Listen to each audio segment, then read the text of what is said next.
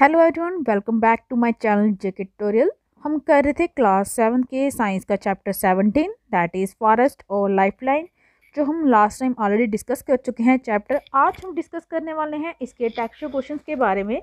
लेकिन उससे पहले जो मेरे चैनल पर न्यू है, मेरी वीडियो को फ़र्स्ट टाइम देख रहे हैं, वो इसे सब्सक्राइब करना ना भूलें. चलिए स्टार्ट करते हैं. तो फ़र्स्ट ऑफ़ ऑल आपका क्वेश्चन है एक्सप्लेन करना है आपने how animals dwelling in the forest help it to grow and regenerate कि जो एनिमल्स डिवेलिंग मीन्स रहते हैं फॉरेस्ट के अंदर, वो कैसे फॉरेस्ट को हेल्प करते हैं उसकी ग्रोथ में, उसको रीजनरेट करने क्योंकि फॉरेस्ट में खुद को रीजनरेट करते हैं ना तो वहाँ पे रहने वाले एनिमल्स की क्या हेल्प होती है, वहाँ पे क्या योगदान है उनका फॉरेस्ट के साथ में, ठीक है? तो बहुत सारे एनिमल्स रहते हैं अलग अलग टाइप के एनिमल्स रहते हैं फॉरेस्ट में, आपको बोलता है, वहाँ पे हर्बी भी होते हैं कार्निवोरस भी होते हैं और ओमनी भी होते हैं, ये सब फॉरेस्ट में रहते हैं। और ये कंट्रीब्यूट करते हैं हमारी फ़ूड चेन को। आपको मैंने बताया था फ़ूड चेन जो होती है, एक एनिमल दूसरे के ऊपर डिपेंड होता है। अगर उनमें से एक भी बीच में से गायब हो जाए तो पूरी की पूरी फ़ूड चेन जो होती है, वो डिस्टर्ब हो जाती है। तो बहुत सारी एक्टिविटी हैं जो शो करती हैं कि एनिमल्स हेल्प करते हैं फॉरेस्ट को उनकी ग्रोथ में, उनकी रीजनरेशन में। कैसे? एनिमल हेल्प करते हैं डिस्पर्जर जो होती है सीड की, एक पार्ट से दूसरे पार्ट तक फॉरेस्ट के ले जाते हैं।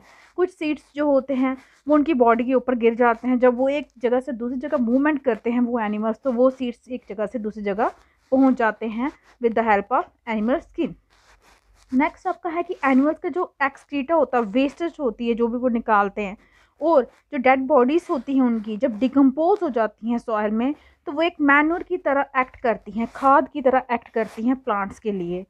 नेक्स्ट आपका जो माइक्रो ऑर्गेनिज्म है, वो कन्वर्ट कर देते हैं डेड प्लांट्स और लीव्स को ह्यूमस में। और आपको पता, जब ह्यूमस आ जाता है सॉइल के अंदर तो उसकी, उसके कारण बहुत सारे न्यूट्रिशन आ जाते हैं। वाइटामिन वगैरह जो होते हैं मिनरल्स जो होते हैं, वो आ जाते हैं सॉइल के अंदर। क्योंकि ह्यूमस जो होता है, वो सॉइल को प्रोवाइड करता है जितने बहुत सारे इंपॉर्टेंट मिनरल जो नेसेसरी होते हैं, ज़रूरी हैं प्लांट की ग्रोथ के लिए। तो इस तरह से हम बता सकते हैं कि एनिमल्स कैसे हेल्प करते हैं फॉरेस्ट की, उनकी ग्रोथ में और रीजनरेशन में। नेक्स्ट आपका क्वेश्चन नंबर टू है एक्सप्लेन कीजिए हाउ फॉरेस्ट प्रिवेंट फ्लड्स बाढ़ वगैरह आती हैं। फॉरेस्ट उन बाढ़ वगैरह से कैसे जो होता है प्रोटेक्ट करते हैं फॉरेस्ट ठीक है? तो फॉरेस्ट आपको पता है, एक नेचुरल एब्जॉर्वर है रेन वाटर का। और एलो करता है उसको सीप करने में अर्थ के अंदर। क्यों? कैसे करता है? क्योंकि फॉरेस्ट में जो ट्रीज वगैरह है ना, वो क्या करती हैं? उनकी रूट्स होती है अंडरग्राउंड रूट्स होती है, बहुत अंदर तक गई होती हैं। उन्हें रूट्स के थ्रू पानी जो होता है, अंदर चला जाता है अर्थ के। जब रेन वाटर यहाँ पे इनके ऊपर गिर, गिरता है, जो लीव्स होती हैं ट्रीज की और प्लांट्स की, वो डायरेक्टली ग्राउंड पे नहीं आ जाता। पहले पानी जो रेन का होता है, उनकी लीव्स के ऊपर आता है ट्रीज की और प्लांट्स की। फिर धीरे धीरे वो ड्रिप होता है स्लोली स्लोली किसके ऊपर जो फॉरेस्ट का ग्राउंड है, उसके बा, इसी कारण जो होता है प्रवेंट करता है जे फ्लड्स को, क्योंकि पानी डायरेक्टली लैंड पे नहीं जाता और जो धीरे धीरे पड़ता है, उसके जो लैंड होती है, वो सीप कर लेती है, अपने अंदर चूस लेती है, इसीलिए यहाँ पे फ्लड्स वगैरह नहीं आ सकती, क्योंकि पानी कहाँ चला जाता है, जो फॉरेस्ट का ग्राउंड होता है, उसके अंदर चला जाता है। नेक्स्ट आपका question number three what are are decomposers decomposers क्या होते हैं? आपने कोई दो डिकम्पोजर के नाम भी बताने हैं। What do they do in the forest ये डिकम्पोजर फॉरेस्ट में क्या करते हैं? उनका फ़ंक्शन भी बताना है। तो सबसे पहले है आपका डिकम्पोजर क्या होते हैं? डिकम्पोजर क्या होते हैं? आपके माइक्रो ऑर्गेनिज्म होते हैं जो कन्वर्ट करते हैं डेड प्लांट्स और एनिमल्स को ह्यूमस में। ठीक है? विदाउट इन माइक्रो ऑर्गेनिज्म के डेड प्लांट्स एनिमल जो ह्यूमस में कन्वर्ट नहीं हो सकते। तो जो माइक्रो ऑर्गेनिज्म कन्वर्ट करते हैं डेड प्लांट्स और एनिमल्स को ह्यूमस में, उसे हम कहते हैं डिकम्पोजर और डिकम्पोजर के एग्ज़ाम्पल हो गया, आपके फंगई हो गया बैक्टीरिया हो गया। अब डिकम्पोजर का फ़ंक्शन क्या है? वो फॉरेस्ट में क्या करते हैं? वो रिसाइकल करते हैं कन्वर्ट करते हैं डेड मैटर को ह्यूमस में, जो मिक्स हो जाता है फॉरेस्ट की सॉइल के साथ। प्रोवाइड करते हैं नेसेसरी न्यूट्रिएंट्स किसको प्लांट्स को। इसीलिए डिकम्पोजर जो होते हैं, वो हेल्प करते हैं मेंटेनेंस में किसकी, जो नेसेसरी न्यूट्रिएंट होते हैं, उसके सॉइल के अंदर जिस बैलेंस हो जाते हैं। नेक्स्ट आपका क्वेश्चन नंबर फोर है। आपको क्या बताना है क्वेश्चन नंबर फोर में कि एक्सप्लेन करना है रोल क्या है फॉरेस्ट का मेंटेन करने में बैलेंस इसमें ऑक्सीजन और कार्बन डाइऑक्साइड का जो बैलेंस है, जो कंसनट्रेशन को कैसे वो मेंटेन करके रखता है कहाँ पे? एटमोसफेयर में। तो आपको पता है फॉरेस्ट जो होते हैं आपके, वो इंपॉर्टेंट रोल में प्ले करते हैं मेंटेन करने में बैलेंस किसमें? ऑक्सीजन में और कार्बन डाइऑक्साइड में, वो भी एटमोसफेयर में।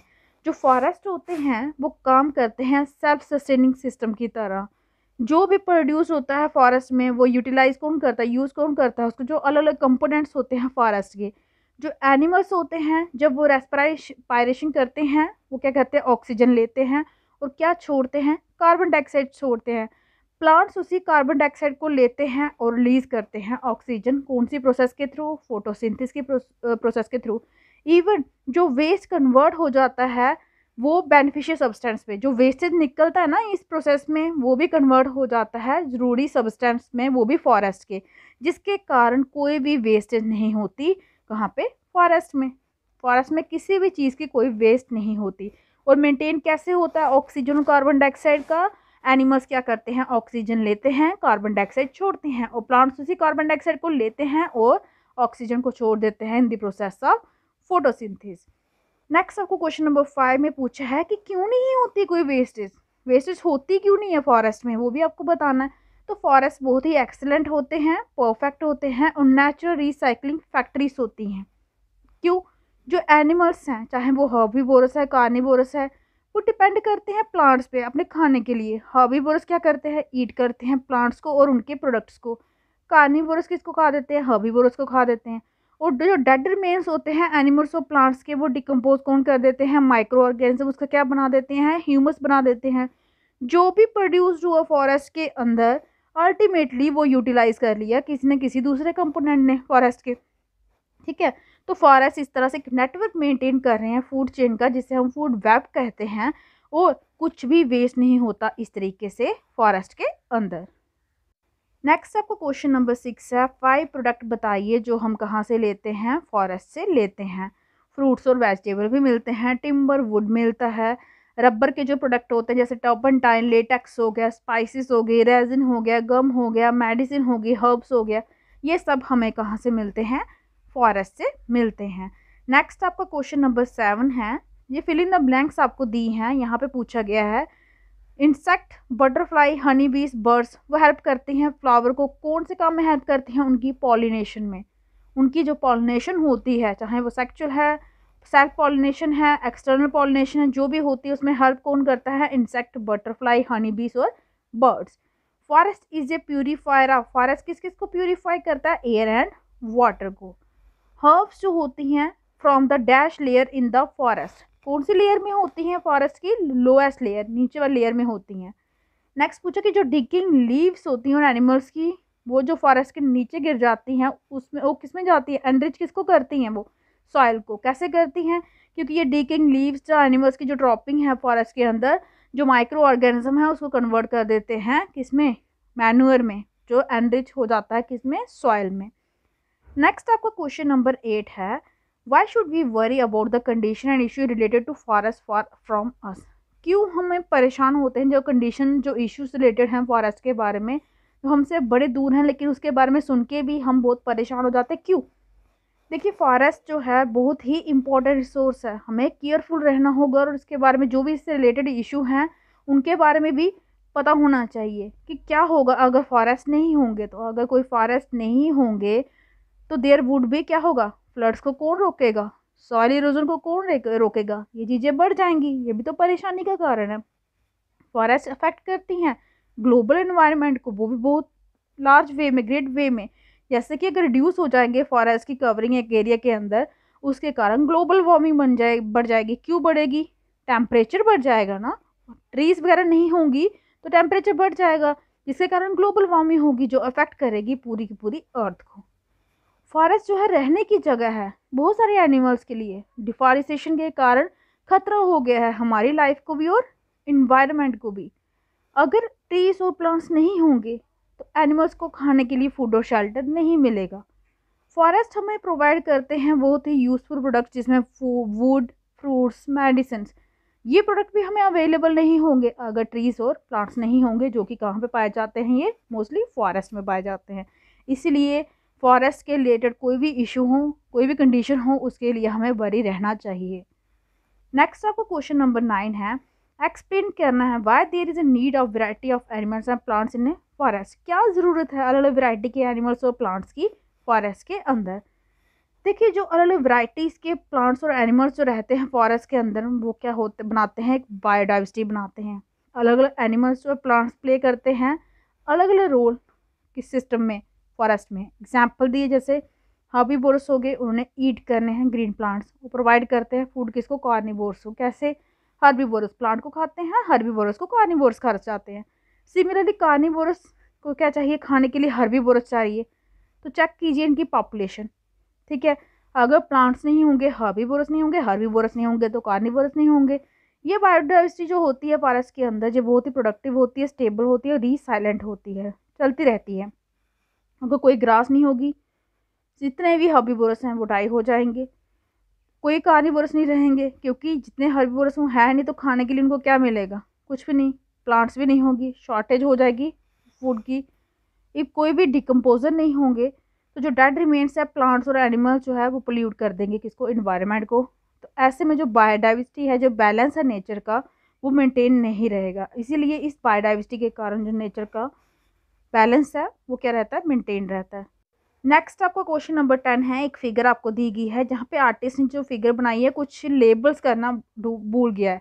ना ही उसने डायरेक्शन बताई है, ना ही उसने एरो बताए हैं। आपने मार्क करनी है डायरेक्शन एरो लेबल करना है इस डायग्राम को क्या बताना है इसमें? Clouds rain atmosphere carbon dioxide oxygen plants animals soil roots water table ठीक है? तो यहाँ पे देखिए, आपने इस तरह से इसको क्या करना है? लेबल करना है। एरो भी बनाने हैं। देखिए एनिमल्स भी शो किए हैं। ये इस यहाँ से कार्बन डाइऑक्साइड जा रहा है। कहाँ पे? प्लांट्स के पास। प्लांट क्या दे रहे हैं? ऑक्सीजन दे रहे हैं। क्लाउड्स ठीक है? रेन यहाँ पे क्लाउड में जा रहा है पानी। पानी जा रहा है ऊपर की साइड फिर वो रेन की फॉर्म में नीचे आ रहा है फिर से। फिर प्लांट्स में आ रहा है प्लांट से फिर नीचे आ रहा है। वाटर टेबल यहाँ पे होगा रूट्स में। रूट्स भी दिखाई हैं इसकी। ये सॉइल है, ये एनिमल्स है, ये प्लांट्स है, जो भी नाम आपको दिए हैं। कार्बन डाइऑक्साइड भी मैंने बता दिया। यूज़ कौन कर रहा है? प्लांट्स ये एटमोसफेयर है आपका। आप लेवल कर सकते हैं इस पिक्चर को बहुत आसानी से। ऑलरेडी आपको बताया गया है, आपने क्या करना है यहाँ पे। ठीक है? तो नेक्स्ट आपका क्वेश्चन नंबर इलेवन है। Which of the following is not a forest product इनमें से कौन सा फॉरेस्ट प्रोडक्ट नहीं है? गम भी आपको मिल जाता है वहाँ से ट्रीज से। प्लाईवुड भी मिलती है। सीलिंग वैक्स भी है। कैरोसिन कैरोसिन ऑयल आपको नहीं मिलता फॉरेस्ट से। नेक्स्ट आपको क्वेश्चन नंबर ट्वेल्व है। इनमें से कौन सी स्टेटमेंट है जो करेक्ट नहीं है? फॉरेस्ट प्रोटेक्ट करती है सॉइल को सॉइल इरोजन से। ठीक है? प्लांट्स और एनिमल जो होते हैं फॉरेस्ट के अंदर, वो डिपेंड नहीं होते एक दूसरे पे। गलत बात है। प्लांट्स और एनिमल्स एक जो फॉरेस्ट के अंदर रहते हैं, वो एक दूसरे ऊपर डिपेंड होते हैं। हर्बीवोरस प्लांट्स को खाते हैं। प्लांट्स नहीं होंगे तो हर्बीवोरस कहाँ से आएँगे? क्या खाएँगे? फॉरेस्ट जो होते हैं, वो इफ़ेक्ट करते हैं क्लाइमेट और वाटर साइकिल को। ये भी ट्रू है। सॉयल हेल्प करते हैं फॉरेस्ट को ग्रो करने में, रीजनरेट करने में। ये भी ट्रू है। यहाँ पे आपकी जो सेकंड स्टेटमेंट है, वो इनकरेक्ट है। ठीक है? नेक्स्ट आपको क्वेश्चन नंबर थर्टीन है। माइक्रो ऑर्गेनिज्म जो होते हैं, वो एक्ट करते हैं डेड प्लांट्स पे और क्या प्रोड्यूस करते हैं? मैंने आपको ऑलरेडी बताया था डेड प्लांट्स पे एक्ट करके वो ह्यूमस प्रोड्यूस करते हैं, ठीक है? तो इसके साथ ही जो आपके टेक्सचर क्वेश्चन से चैप्टर सेवनटीन के, वो भी कंप्लीट होते हैं। आई होप कि आपको अच्छे से समझ आ गए होंगे। अगर आपको मेरी वीडियो अच्छी लगी हो तो प्लीज़ इसे लाइक कीजिए शेयर कीजिए चैनल को सब्सक्राइब कीजिए, ताकि जो भी मेरी लेटेस्ट वीडियो हैं, वो आपको टाइम टाइम मिलते रहें। आज के लिए इतना ही। Thank you